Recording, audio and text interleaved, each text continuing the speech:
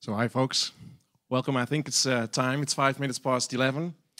A very, very, a very warm welcome here at the talk about the .NET FHIR API, um, aimed for beginners. And, uh, well, you get you started here with your FHIR API today.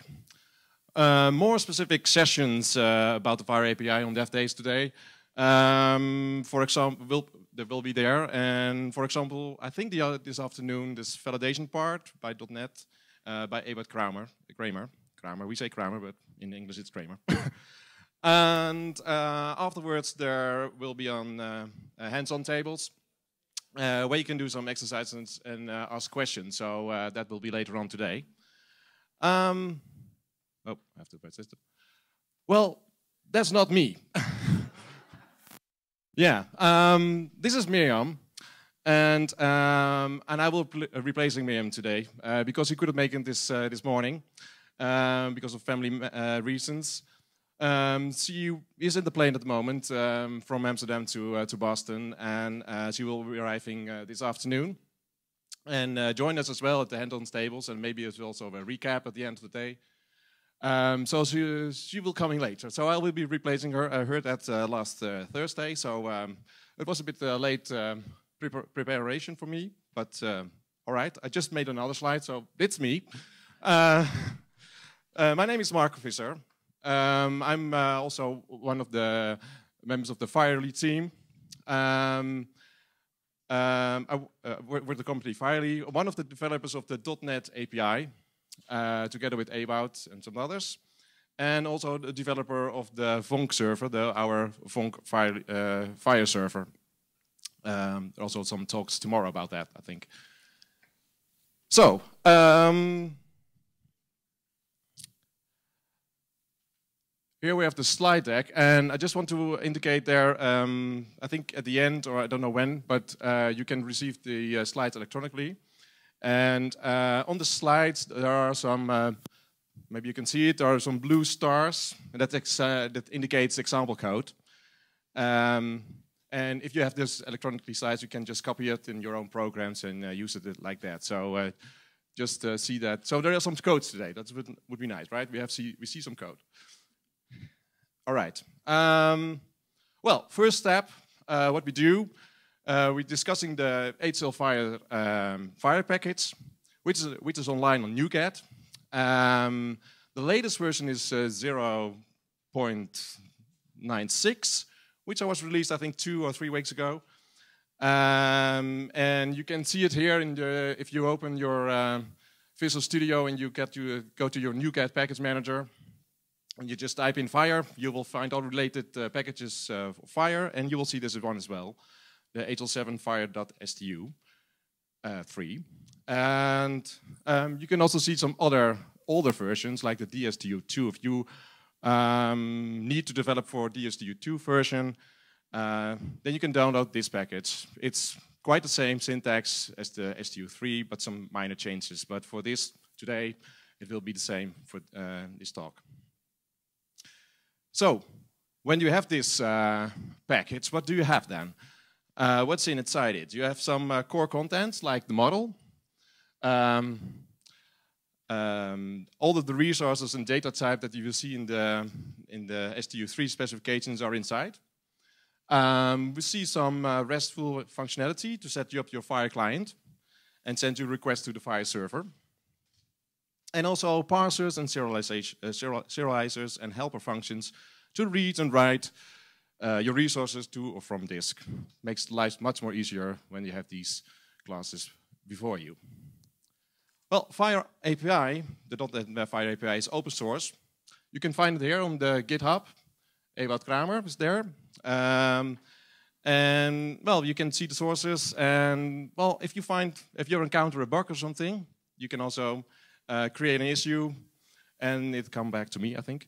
Uh, but we just, uh, yeah, we investigate it and just uh, put it on the um, on a new release, for example. Or if you have some cool ideas, just also create an issue for that, and then we uh, we find out then, and we um, we come back to you.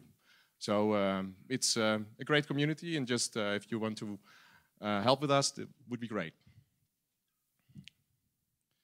So uh, we start with a model. Just uh, uh, open a new unit and just using, uh, try to put in the using statement, Hl7.Fhir.Model.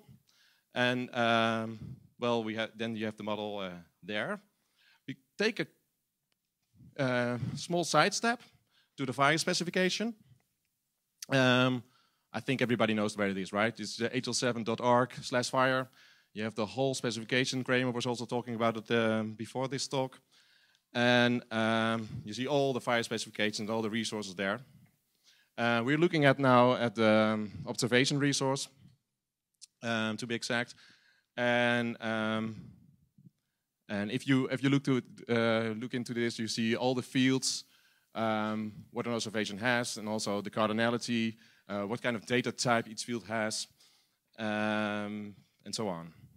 Uh, I see here some identifier and status, for example, like fields. Um, and those fields are also in the FHIR API. So let's have a look. Here we see it. We see here the observation that we saw earlier in the previous slide, like uh, on the specification, but we see it here now in code. Um, it's the observation class, and uh, it's uh, inherited from domain resource, but you also saw in the other previous slide. And uh, note it's a partial class. So if you want to have your own code in there, just uh, create, set up a new partial class with the same name, and put your own code if you want to. So you can just extend it with that, with your own code. And um, in, uh, like you saw, we had also status in the specifications, uh, in the specification, and um, it's um, it has a cardinality of one to one, so it's mandatory, and it's of type code. So um, in this case, this type is bound to a specific value set, namely observation status. Um, it's a required one. So that means that you can only use the codes for this specific, specific value set, like the registered and uh, final amended. And, um, and for the, uh, when this required value, um, so sorry, if this is going to be like this in code, it's an enumeration um, with the same values. Um, I think I, we shorten it a bit, but uh, there are more, I think it's six and um, it's just generated like uh, enumeration. So um, I just have to go down. Hopefully it works. Yeah. And if we want to create an observation, we see here the code. Just create a new instance, new observation, and um, uh, put this in the status, the, for example, this observation status final. That's all you have to do. Um, you can you can't choose for anything else because it's enumeration. So um, you can't put in an int or a string. Just you are bound to this uh, uh, several values. Uh, of course, you cast something else, but it's then you're not you're cheating a bit. But it's like uh, we have this enumeration before you.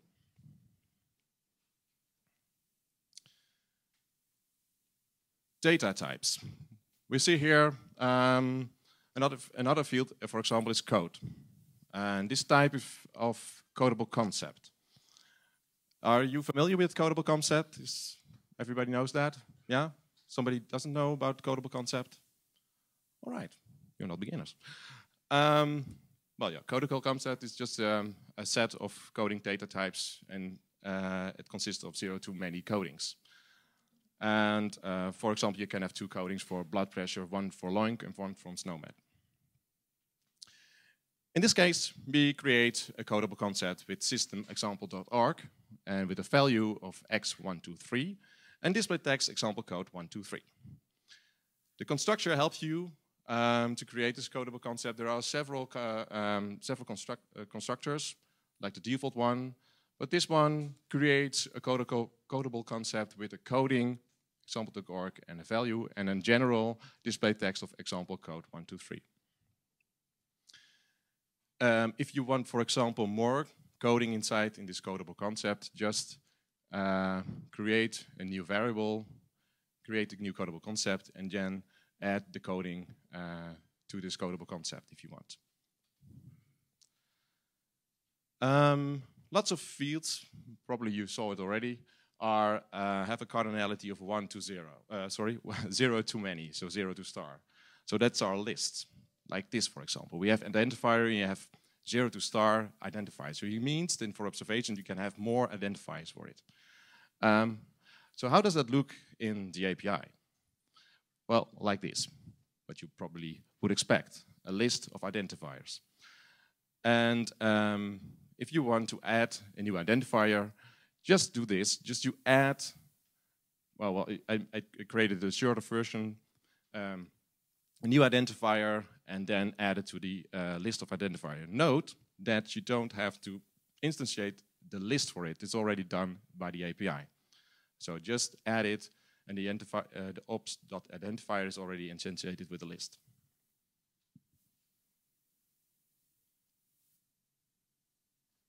Okay, maybe you saw it as well, but we have also value x. That's a choice property. Who doesn't know about choice properties? Does anybody know about it? Again, no beginners.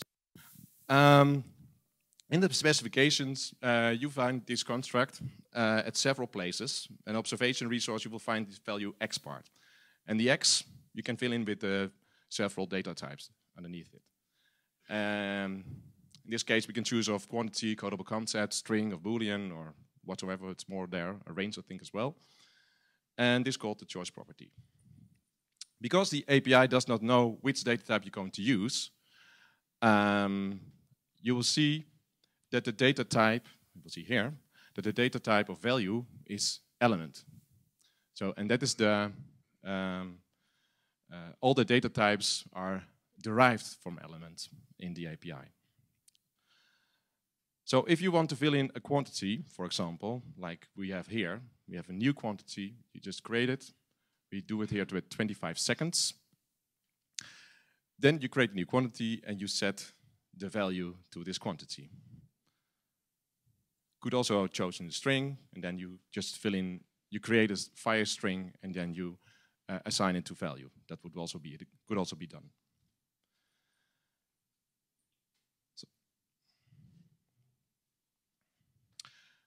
In the specification, you will also encounter some um, some parts with a subtree of the main tree. In this case, we have the reference range uh, in the observation part. We call this a component. In API, uh, you can see that you have a reference range uh, component as well, which looks like this. Um, the reference range component is part of the um, observation class namespace, and it's of type backbone element. And backbone element is again derived from element. So component is a block of information within the bigger resource. So if you fill in um, a reference information, uh, reference range information, just do this. You create new observation dot reference range component. Mind I said that re um, reference range components inside of the observation namespace, and just uh, fill in the values you want to, and then uh, assign it to the uh, observation reference range, ops dot reference range. Uh, because reference maybe you saw it, it's a list, so it has a zero to star. So it's a list, so you can add it. And again, reference range is already instantiated with a list. All right. So let's go, we go back. No, we just had, uh, had this observation resource. Let's go to another resource that's patient resource uh, for the next example. And in FHIR, we have some primitive data types and non-primitive data types. And primitive data types, uh, for example, are Boolean, string, uh, integer, and like so on. Uh, I think, as well, time. And uh, non-primitives are complex types, like types who have some other fields within it, like this codeable concept, for example. Um, yeah, that is the primitive type, Boolean there. Um, here we see it in code. So we have active. Um, is the patient uh, record is active in use. So uh, it looks like that in the in uh, the .NET uh, API, like a um, nullable bool actually, because it's a zero to one. So it can also be empty, um, and it's of type bool, like you would expect. Now, how do we do instantiate this? Just create a new patient, and active is true. Very simple. The true dot the .NET type data true. But primitives, um, uh, primitives in FHIR are not really primitives.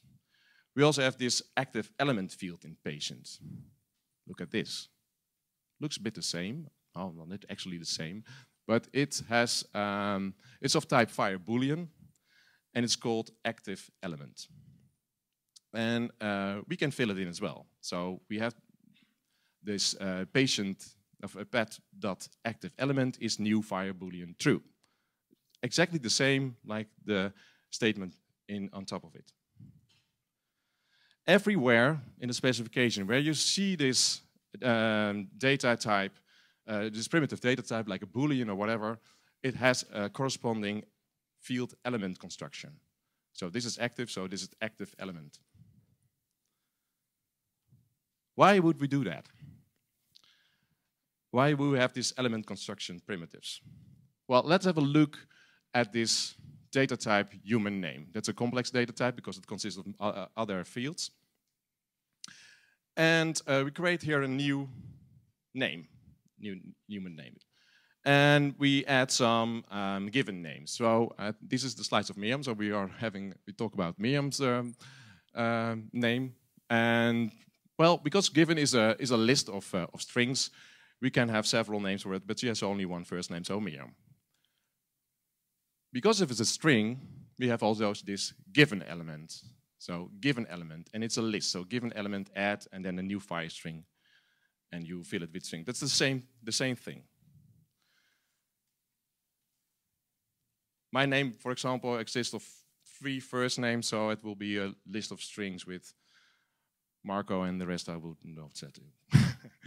um, for, uh, we can also have a family name. And yeah, two names for it, Baltus Bakker. And we, uh, because it's of uh, a string um, family, we can just do like this. Note, it's a string, so it's a primitive. So it could also be family element. Um, is new string Baltus Bakker. That would be exactly the same. The reason why we have this construction is because we have extension in FHIR. And everybody knows about that, right? Because um, we can, all of these we can extend. And um, extension you can do, you can't do um, on primitive C-sharp data types. You can't extend a string or an integer or a boolean. It doesn't, it's not possible. But you can do, you can do it with, uh, with this uh, element type. So I, here's an extension for example, as an example, we have an uh, XML here, um, a patient, and we extend it with uh, Williams here. It's the mother's maiden name. It looks like that. This is just a side note how extension works. And if you do that in a non-primitive version, it would be like this. So um, we want to add a new element, a, a new data type, sorry, a new extension to this family element. And you couldn't do that with a string. So we do we take this family element. So we say family element, you add extension, and that is in this case is the human name part, human name partner name, sorry, human name partner name, and you create it with this new FHIR string, Baltus. So now you can just add all your data types or all your resources like this. And that's why we have this, um, this element construction. Okay. We go now to, this was the model. And I would like to invite you just to, to try these things out in, uh, in the API. Um, we have these hands-on sessions at, uh, uh, is it the mezzanine or what, what is it called? Yeah, there are all the tables and you go to the, to the developer uh, table, I think, and just try it out. And we have also example codes and can help you with that. So just try to, to get familiar with these, uh, these constructions if you want to. So the next uh, part I'm going to talk about is the RESTful interactions. And uh, we just use the, the using statement hl-fire, uh, hl7.fhir.rest. There are several FHIR servers around the world, which you can use just for testing purposes. And they are listed here. Uh, if you have this, um, these slides uh, electronically, you can just click on the link. Um, but it's also on the wiki of, uh, of HL7 go to wiki.hl7.org and find for this uh, this FHIR service. Just you can just search for it there, or ask me later on. Also, fine. Um, we're going to create a FHIR, a client at this moment. So what we do, we just create a new FHIR client object. We also uh, we give it also a URL, and uh, we'll use here the Vonk Firely server, the Vonk for uh, server. Um, and then you can send some options to this client. So you can just, oh, I just want to have this XML, always have the XML um, preferred format, or you just you can just uh, say I just want always to have this full uh, return, uh, full representation of the of the resource, or just just want to have the location of it, or the minimal, or the, only the operation outcome. You can just fill it in here, and it will um, recognize it for the next operations if you filled that in. So these options that you put here are um, tell the server how to react on the operations. So we have some um, some operations like uh, like a create, and this is a create. Uh, create. We know we can make a create a new observation instance. We do like this. We fill in the status. Final. We are very certain about this, and um, I put in some code, some codeable concept, which you saw, saw earlier. Fill in some other mandatory fields if you want to, and um, and then send this observation. Oh, send this observation to the server. We already created the client, right? Uh, right in the uh, previous uh, slide, and we do client.create. Uh, use the generic observation type and then fill in the uh, observation. Um, because the, I already fill in the URL in the previous slide, it knows where, we, where it has to send the resource to. And we don't have to carry, uh, we don't have to um, think about the lower details like um, the HTTP headers and stuff like that because it's already handled by our API. So you don't have to care about that. Of course, um, this kind of way, it is, it can throw errors, right? Um, maybe you just didn't create your observation correctly, just, just forget the mandatory fields, for example. Or the server said, I don't want this uh, resource and sent you back an, uh, an exception. So I would like to advise you, if you do this, just put in some uh, so error, error handling uh, code around it. Otherwise, for in your production, would be nicer for your clients as well. Okay, this was create. I'm just pressing the wrong button here always on my mouse, but I have to put this here. So um, that was create, and we have something else. Um, for example, um, the read. It's very simple. Looks like this. Read, the generic patient type again, and then the identifier of it, the ID of it. Sorry, I said identifier, but must ID. Just provide the ID for the resource. Or let's do an update. We have a patient, we already had that one, and just well, we use, we use here the, the Fluently notation, and we say uh, family name Kramer and uh, with his given name, first name Ewout. And then update the patient there as well. So that's the next line we send, the operation we send to the, the server. Deleting, of course, we need to delete sometimes also the resource. Um, if you already have the patient in memory, just uh, give it to the delete, um, delete operation, or you can specify the ID of the of the, the resource and just um, give that to the delete overload method. If you want to if you want to um, add headers to the request, for example, then we have some um, nice um, on before and after response uh, events. Um, looks like this. For example, um, you want to put extra headers in um, before you send your request. Could be handy if you have, before, uh, for example, um, uh, SMART on FHIR, where you have to um, put some authentication headers inside of it. Could be handy like that. So you can do that here. So you create an exception, uh, an event handler, and uh, assign it to the on before request, or add it to the on before request. Um, you could do this also with a response. If you want to see the raw response of the of the server, you have the on after response. So you create the event handler for that, and you can see what it what it gives you back from the server. Just put it to the console, uh, right line, and you can just inspect that. What is how does it look like? great, um, great nice event handlers for that. Um, other things of the API is the possibility of searching, searching for, for, for your resources. You, once you put it in, you want to also get it out, right? So um, we have a search params class for that, uh, where you can fill in the search parameters. Uh, you can do that in several ways. I use here now the fluently notation, but you can also uh, create or adding your um, uh, search parameters uh, after each other. Um, we search here, for example, with the where. And the where is like um, a name value kind of way. Um, but you know, do you know where there are the search where you can find the search parameters on the uh, on the specification? Everybody knows that. Go to the resource, go to the bottom of the page, and there you will find all the search parameters for that resource. Resource, very handy. Uh, only a bit of scrolling. And I know there is a name, search parameter name for patient. So I can put in here name and I say Ewout, and uh, it will find um, in the in the family name or in the given names of all what you have there. Um, well, what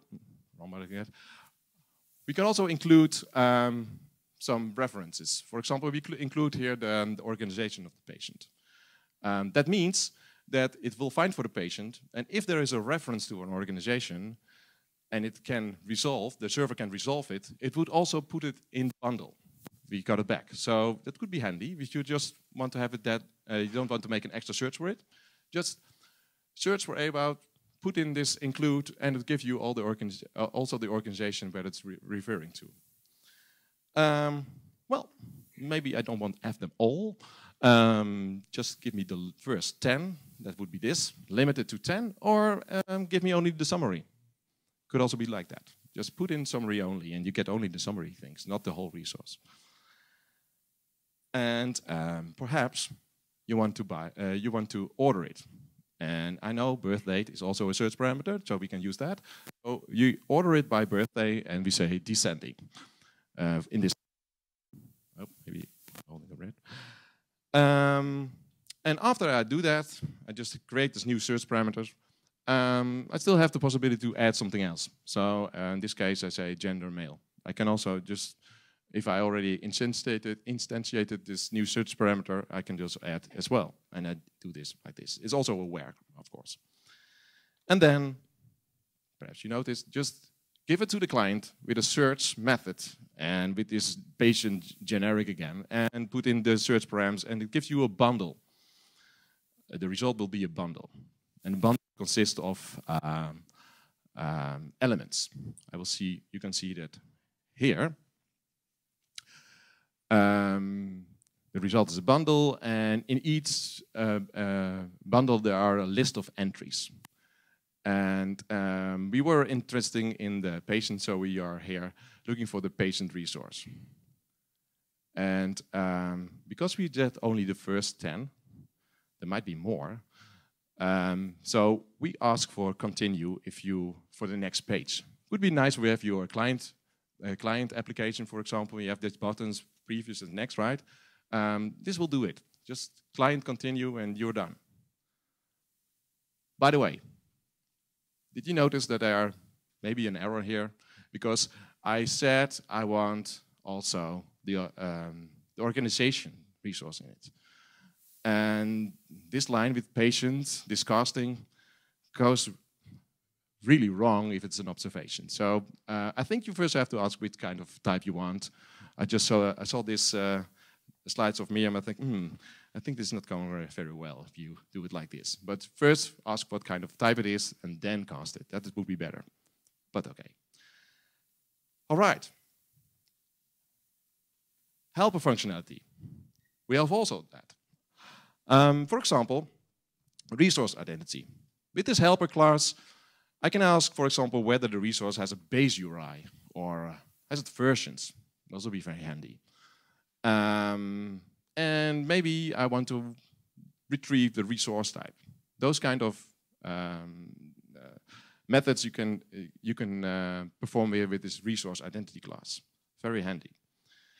Um, you can look at this. If you want to create a new or construct a resource identity. For example, here we have a patient identity of three, and with this base of uh, example.org, or it could be also vonk.fire.ly, then you use this. Um, may, perhaps you have this uh, OIT construction. You can do it as well. It saves you a lot of time um, by, uh, otherwise you have to type it in, it could be very long. Um, and this will build it for you very easily. And there are more methods you can use. There are this, this a few, I think there are four or five things, but there are more methods you can inspect. Just open to the resource identity and you will see what, what kind of uh, methods you can use there, or just ask us uh, upstairs uh, at the hands-on tables if you want. Another thing uh, we can provide you is this uh, transaction builder. Um, transaction bundle, we create here a transaction bundle. It's a quite big bundle if you look at it. Um, but if you construct it like this, it saves you a lot of time to create it your own. Um, so what we do here, you, we create a transaction, put in the, the URI, in this, uh, in this case Vonk again, and we put in some several operations, like a create. We do a create, we do a uh, resource history, and we do a delete operation, and a read operation. Um, and uh, perhaps we will some, we would like some as well. We put in uh, maybe a search, like uh, name is Steve, for example. Uh, we put that also in, so we have this transaction builder in, we add also this search to uh, name is Steve. So we have now one, two, three, five operations to perform for the server. And last, what you do is create this bundle, which is a big bundle, and um, give it to the transaction method of the client. Because we already knew where the client will, uh, will send his re uh, response or request to. It doesn't know that, it does already know that and it gives you the result back. The server handles this in one transaction if it's uh, supporting. Not all servers support this kind of transactions. If it supports it, it uh, handles the operation in several way. In, uh, also in the specification which way. I think it first starts with the delete, then a create, update, and get. I think I'm not sure, but you can see in the um, in the specification. So um, I think this was uh, kind of uh, a brief introduction. I don't know what is the time. Like this, but um, maybe there are some questions. And I see already one. Hi.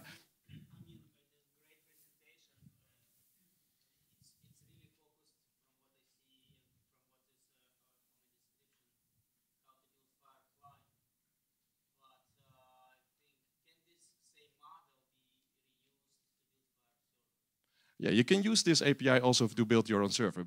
We built the funks. Uh, that was the question. Can you use this also for your for for a FHIR server? Yes, we can. And uh, um, we have the Vonk server, for example, and we use the API as well. So.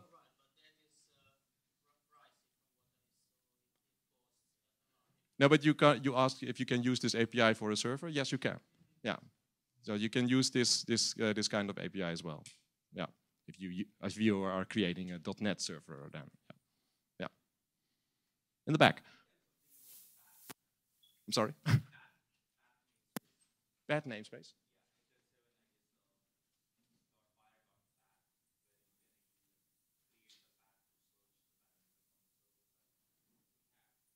Oh, path. Oh, path. Um, there is a session uh, about that. Uh, I think it's you, you, are doing that, Ewout, right? Yeah. Half, half past one. There is a, a session about that, and uh, well, Ewout is going to give that uh, later on. So maybe you can ask all your questions there, or maybe now. I don't know. later, right?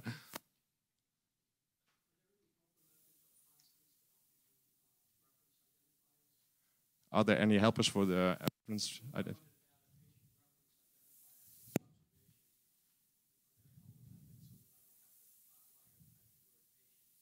Yeah, that is. There are some helper methods for that. Yeah, yeah. So you can use those. Uh, those. Uh, not, I don't know by heart, but there are some uh, some methods for that. REST identities. Yeah. Okay. Right. I saw first there. Yeah. One of the red. Yeah, that's why you're here.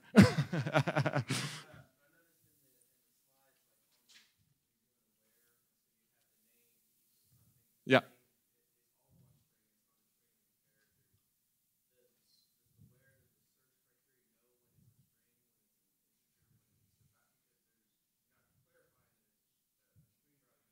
No, we have this, this, yeah, we have this name is value part, right?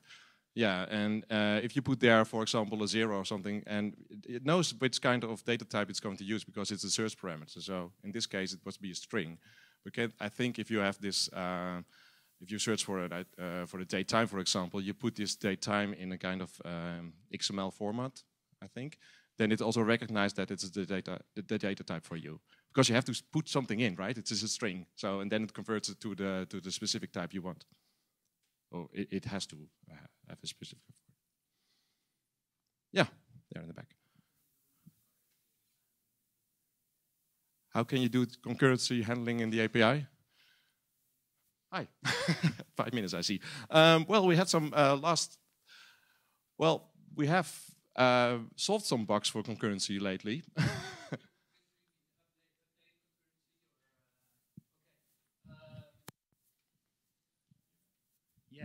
So this is this is like you you have retrieved the record and then someone else modifies it and, and you do a post. Um, FHIR has facilities for that, and I think on the update, um, so client.update, there's a parameter that you say that you want to that you want to use uh, that you want to check for concurrent updates. So it, it, it checks whether it, it will it will check whether the um, it will send a header I think it's the if match header, but that's you know underwater, and uh, because that's a server-side feature that the client invokes. So if on the update statement you add that parameter, it will ask the server, "I have an update here for you, but beware." This client is still thinking that the current version is version blah. So if it's anything else in that, um, scream. So you get back an exception if that happens. Somebody else. Ah, here in the left. I'm sorry. Um, I, I do the first one and then come back to you, okay?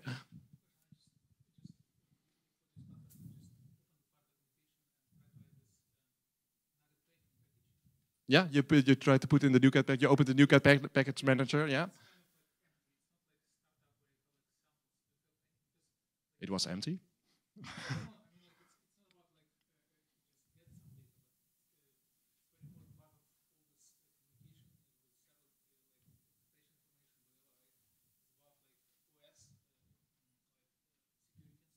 Mm-hmm.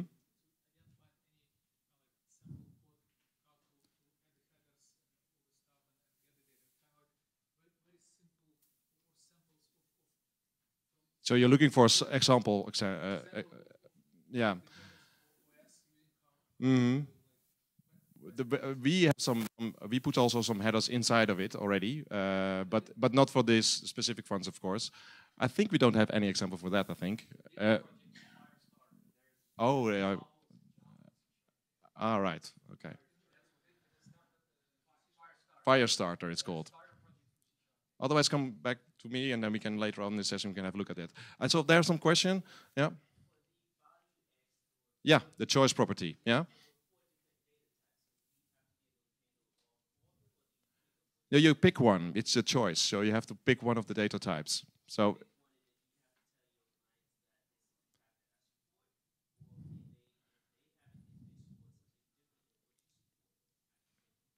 Well, in this case, it was uh, an observation value, right? So it was um, uh, maybe you have a, an, uh, a, value for blood pressure, and then you have a code of a concept, for example, and then you put in, that in. So is that? I'll add one more detail. So this is about a contract between the client and the server, right? So if, if you take the FHIR specification as a contract, you could say, oh, I have to support all of them because the whole FHIR spec, you'd have to support observation and then seven or eight of these types. What will usually happen for use cases is that people will write, you know, an implementation guide or whatever, give you some documentation saying in this use case, we only use these subtypes for observation. So if your server is only implementing that use case, you're perfectly fine implementing only those. Yeah. Case of observation, you will eventually have to support the different types because observations can be numbers, can be coded elements, can be text, free text, can be eventually all of the stuff. So as a server, you will have to support both all of them, and as a client, also you will have to support all of them. But it's a special case. So if you're a server just serving up body temperatures, you could could you just just support quantity. You know, it's a very limited use case. So I agree with you that generally as time goes on, you probably find yourself supporting more and more. But it's really about the contract. And there was a session just going on now about how to write these kind of contracts in FHIR. They're called structured definitions, and you can publish that.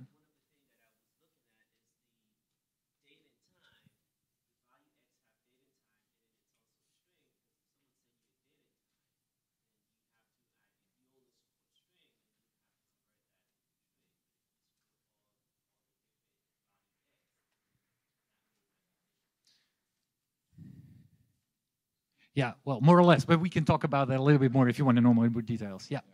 I'm sorry, guys. We, it's, it's uh, time. I heard all the clapping on the other side, so uh, maybe we can have. Yeah, sorry, I have to end. But um, come here to to me for uh, other questions, or go to the to the hands-on tables uh, in the mezzanine up, upstairs, and look at the schedule for other tutorials, like uh, from Ewout for the validation track and uh, code, and have fun. And thank you very much for your attention.